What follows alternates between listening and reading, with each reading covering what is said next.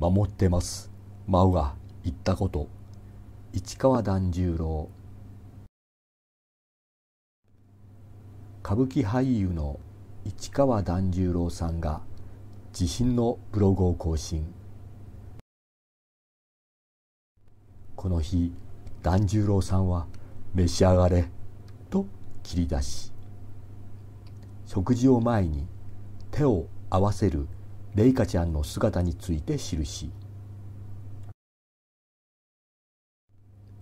SNS でレイカの顔を隠すのは真央が言っていた。と綴り。守ってます。と真央さんが言ったことを自身も守っていることを綴っていた。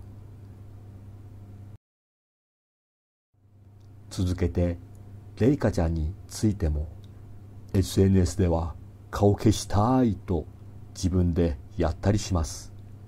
と記し一応お伝えしておきます。